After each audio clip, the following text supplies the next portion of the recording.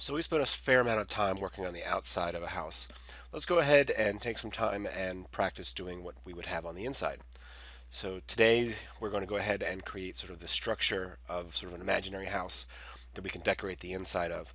We're not going to bother with details like a roof and things like that because we're just going to focus on the inside here. So go ahead and open up SketchUp.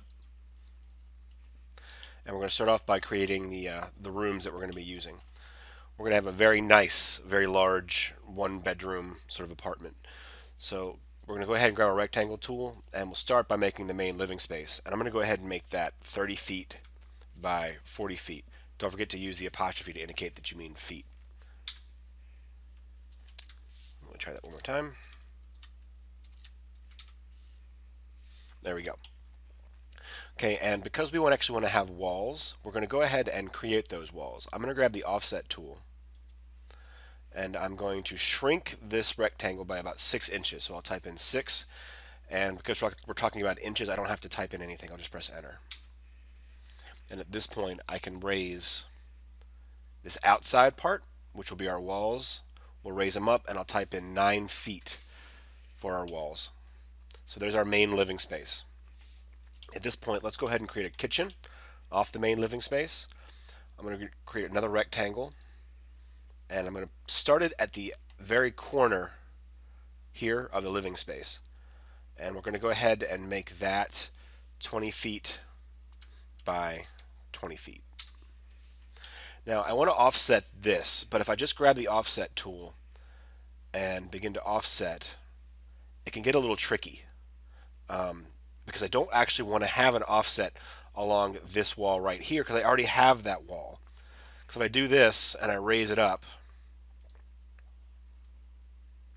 now I've got this doubly thick wall right here. I don't really want that. So what I'm going to do instead is I'm going to grab just three sides of this room with the select tool. I'll click this one, hold down shift, select this one and this one, and now I'll grab the offset tool and now when I offset, I'm just grabbing those three sides. So I'll pull it in a little bit and I will type six inches, enter. And I'll raise that up. And that way I don't have that doubly thick wall right there. Do the same thing over here. We're going to do a bedroom and a bathroom.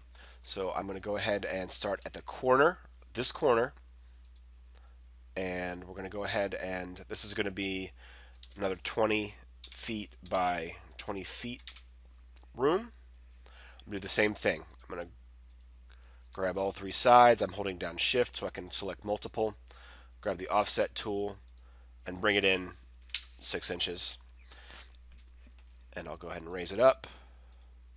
I can raise it up and just hold the, the mouse right here and that says I want it to be the same height. And we'll do one more room off here, which will be our bathroom. We'll start in the corner. We'll bring it out and I'll say 10 feet by 10 feet. And last time I'm going to grab all three.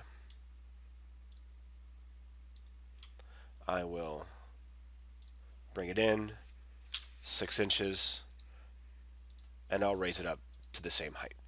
Now we've created all of our rooms.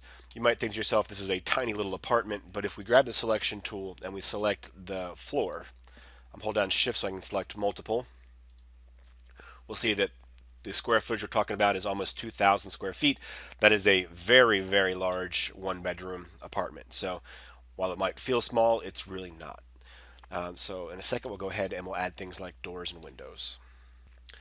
Okay, so we're going to go ahead and add some doors.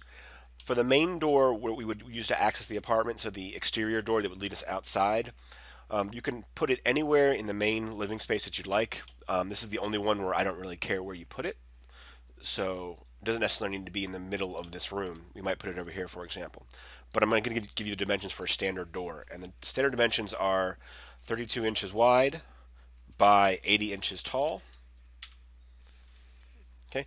If you type that in and it ends up being short um, and long, then you just flip the dimensions around. And now I'm going to take my push-pull tool. I'm going to get sort of a slightly upward looking view like this. I'm going to click and I'm just going to bring my mouse up here to the far edge of the wall and when I do that you see that the um, the door itself looks a little weird it sort of doesn't know what to do with itself um, and I'll click and that will actually just cut that out Um, we're going to pretend like we don't actually have doors here. Um, and that will be sort of our exterior door. For the other doors that lead from one room to another, I am going to be picky about where they actually fall. So they should be in the middle of this piece of wall that connects, um, or that just means this, this part of the kitchen. So what I'm going to do is I'm going to bring a guide over and I'm going to search for the midpoint. And when I hit the midpoint, it's going to turn blue and I can click that is the middle of this wall right here. At that point, you'll recall that our wind, our uh, door rather was six, uh, was 32 inches wide, which means that I need a line on each side that's 16 inches, because it's half of 32. And you'll recall that the door was 80 inches tall. And at this point, I can just trace using my guides. I've made the shape of the door, and one more time, I can just take the push-pull click on this door face, bring the mouse to the end of the wall and click, and it will have created a space in the wall that I can see through. I can then grab the eraser and I can get rid of that line and now I have this nice opening into my kitchen. So you can follow those same steps to add a door um, that goes into the bedroom and one that goes into the bathroom. Um, same exact steps, make sure you measure halfway across um, and make that nice and even. The next thing we're going to talk about are windows, and I'm going to ask that you have at least one window in each room, with the exception of the bathroom. You don't have to have a window in the bathroom for obvious reasons. So let's make a window real quick. I'm going to go ahead and put a window in my main living room. I'm going to make this one kind of long, like a nice bay window that would look out um, into the backyard. So I'm going to grab my guide tool and let's do the same thing. Let's find the middle point of this wall. So I'll drag a, I'll drag one out and I'm going to look for the cursor to turn blue. That is the middle of my wall. Let's go ahead and make a six foot long bay window. So to do that, I'm going to go ahead and pull a guide out and half of six of course is three so I'll type in three feet. I'll do the same thing over here. didn't actually have a guide there. Three feet. And let's go ahead and find the middle point of the ceiling right there. And we'll go ahead and pull a line down that is, let's go ahead and make this um, five feet tall. So we'll say two and a half feet down and two and a half feet up. And now I have the rectangle I want for my window. I'm going to do the same thing here. I'm going to go ahead and push it in and I'm going to tell it to stop at the far wall, which will actually just open it up completely. And at this point, I know that, first off, I could probably just get rid of these guides because now they're just going to get in my way and make, oops, and make things confusing. So let's go ahead and get rid of those.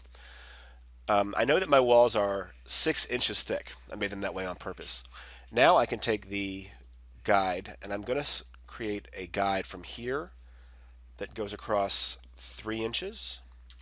That's halfway, of course. I'll do the same thing on the other side. We'll bring it across three inches. And that will allow me, it's to be a little tricky, but it'll allow me to start a rectangle way up there in the corner. And I'll come down to that corner. And now I have added a window that's halfway into the wall. And I can grab my materials, grab some glass, and there you have it. You have a pane of glass that's halfway into the wall. It looks a little bit more realistic. So that way you can make a, a window, at least one in every room. Feel free to add more. It might be nice to have one over here as well, or a couple over here. Um, one in your bedroom and at least one in your kitchen. Uh, leave the bathroom alone. And we're off to the races.